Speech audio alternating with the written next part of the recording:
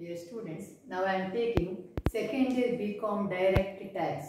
So we already solved around five problems.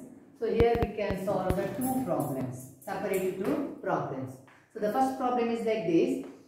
Bharat was holding gold which was purchased by him for rupees 1 lakh 50,000 in 2001 2. So he purchased the gold. He gifted to his daughter. So it he is gifting the gold. So then its fair market value is 3 lakh. So gifted means we should not take into consideration this fair market value. Gift ಅದರಿಂದ ನಿಮಗೆ already ಹೇಳಿದೆ ನಾನು ಈಗಿನ fair market value ನೋಡ್ಲಿಕ್ಕಿಲ್ಲ ಇದರಲ್ಲಿ which ever is high ಅಂತ ನೋಡಬೇಕು the daughter sold 50% of the gold. It is important. She is not selling the full gold. She is selling only the part of the gold. That is 50% of the gold. For uh, in December 2018 for 20 lakhs. So she is uh, selling the 50% of gold for rupees 20 lakh. On 10 1 2019, she invested 8 lakh in a residential house at Delhi. So she invested 8 lakh in residential house, new house. It is important. In December 2018, she owned a big house at Delhi. That means she already having one house. So now she is purchasing another house. So ಇಷ್ಟರ ಖಾಲಿ ಅವನು ಹೊಸ ಮನೆ ಒಂದೇ ಮನೆ ಇರ್ತದೆ ಅದನ್ನ ತಗೊಳ್ತಾ ಇದ್ದದು ಇದರಲ್ಲಿ ಕೊಟ್ಟಿದ್ದಾರೆ ಅವನಿಗೆ ಆಲ್ರೆಡಿ ಒಂದು ಮನೆ ಇದೆ ಇದು ಇನ್ನೊಂದು ಮನೆಯನ್ನು ತಕೊಳ್ಳುದು so as per income tax rules there should be only one house if there is a two house then that should be deduction should be made proportionately. We can see while solving the problems first we have to take into consideration so we have to write computation of taxable capital gain. Under that sale proceeds. So he sold the house for rupees 20 lakh. Then we have to deduct the less. It is long term because it is purchased in the year 2001 to sold in the year 2018 so here we have to write, it is a long term. Therefore we have to write indexed cost of acquisition. Once again the house is gifted. So don't take the fair market value. Take only the uh, cost value. Once again here if it its cost is 1 lakh 50000 that means for the whole 100% gold he uh, given 1 lakh 50 but remember he sold she sold only 50% so we have to make the cost of purchase for 75000 So one lakh fifty ತೌಸಂಡ್ಗೆ whole purchase ಮಾಡಿದ್ದು ಅದರಲ್ಲಿ fifty percent sale ಮಾಡಿದ್ದು so ಈ one lakh ಫಿಫ್ಟಿನ ಅರ್ಧ so seventy five thousand cost of acquisition ಆಗ್ತದೆ So sold date is 1819. So here we have to write 280. Then we have to see the purchasing date that is 2001 to. So the index is 100. 100. Uh, so we get 2 lakh 10,000. 2 lakh 10,000. So here we are getting 17 lakh 90,000. From this amount we have to deduct exempt under section 54. Here he is processing two house.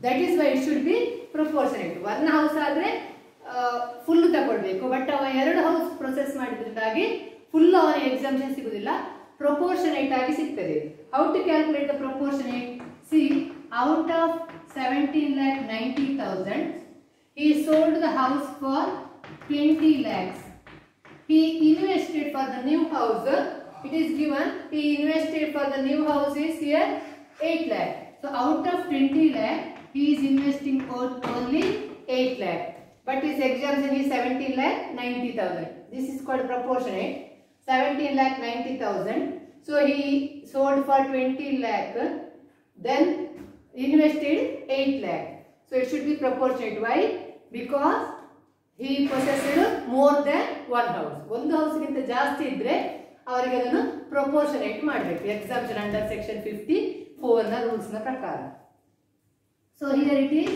seven lakh sixteen thousand so the taxable capital gain will be ten lakh seventy four thousand so ನಾವು the taxable long term capital gain is ten lakh seventy four thousand so this is the first problem you will solve the first problem Next we can see the another problem, second problem.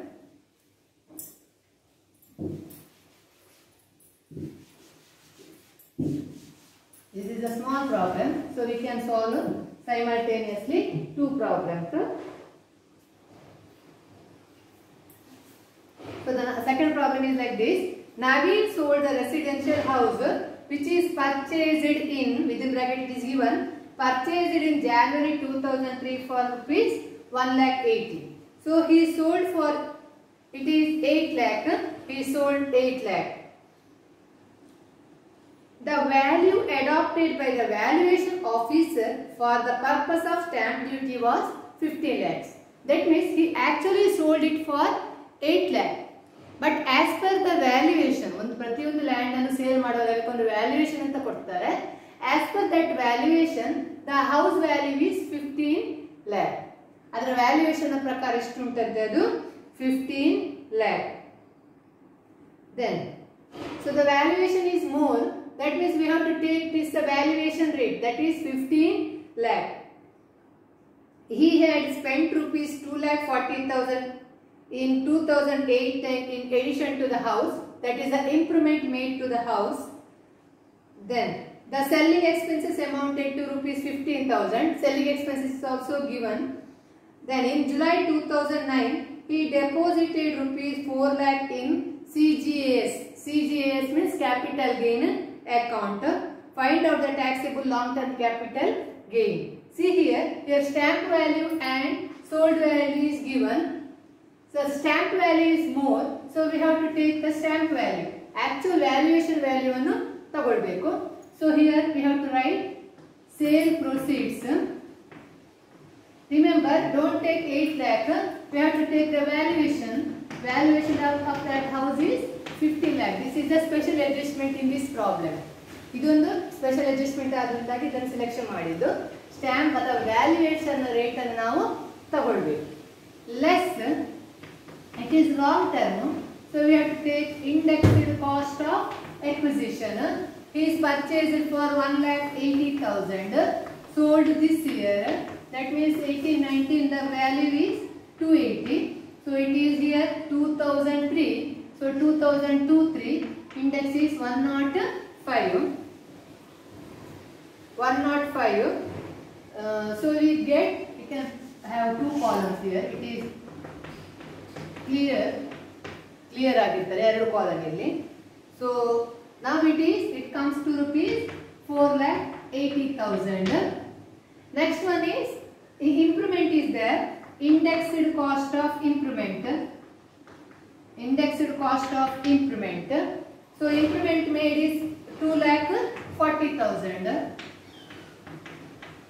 So this year index is two eighty ಅದು ಯಾವಾಗಲೂ ಹೆಚ್ಚಾಗಿ ಅವರು ಕೊಟ್ಟಿರ್ತಾರೆ ಆ ವರ್ಷ sold ಆದ value then improvement is done at 2008-9. So 8-9 improvement. So, take that index.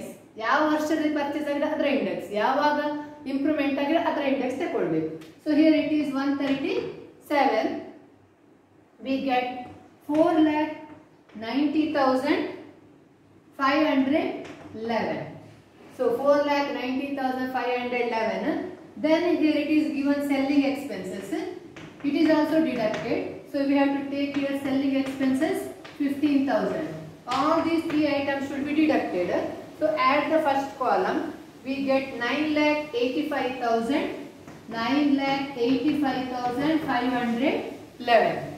First column in a ಮೂರನ್ನು add ಮಾಡಬೇಕು. We are getting 9 lakh 85,011. So from this amount we have to deduct this. Then we get 5 lakh 14,489. 5 lakh 14,489. Then he invested rupees 4 lakh in uh, invested 4 lakh in capital gain account. So here we have to write life less exempt under section 54. So ಅವ ಎಂತ ಮಾಡ್ತಾನೆ capital gain account ಕೊಡ್ತಾರೆ ಅದನ್ನು full ನಾವು deduct ಮಾಡಬೇಕು so deposited in CGS. The amount is 4 lakh. Deduct it, we get 1 lakh 14,489. 1 lakh 14,489 is the taxable long term capital gain. Taxable long term capital gain. With this, we can end this problem. It is over. Thank you.